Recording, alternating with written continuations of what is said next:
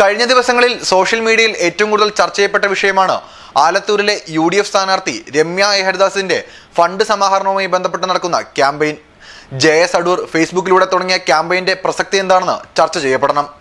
സാമ്പത്തികമായും സാമൂഹികമായും പാർശ്വവൽക്കരിക്കപ്പെട്ട പശ്ചാത്തലത്തിൽ നിന്നുള്ള ഒരു പണക്കാരുടെയും സഹായമില്ലാതെ തിരഞ്ഞെടുപ്പിന് നിൽക്കുന്ന രമ്യ എന്ന രീതിയിലാണ് ഫേസ്ബുക്കിൽ പോസ്റ്റുകൾ പ്രചരിക്കുന്നത്.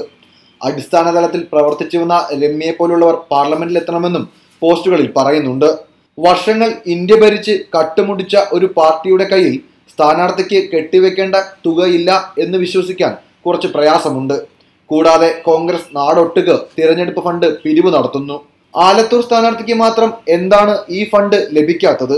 രമ്യ ഹരിദാസിന് ലഭിക്കേണ്ട ഫണ്ട് എങ്ങോട്ടാണ് കോൺഗ്രസ് പൂഴ്ത്തുന്നത്? ചോദ്യങ്ങൾക്ക് മറുപടി ഉണ്ടാകണം.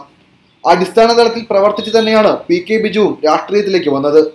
സമരങ്ങളുടെ മുന്നിൽ നിന്നും നയിച്ച് കൊടിയ മർദ്ദനങ്ങൾ ഏറ്റുവാങ്ങിയാണ് ഓരോ ചുവടും പൊരുതി പി കെ ബിജു നല്ല പാർലമെന്റേറിയനും ജനകീയ നേതാവുമായത്.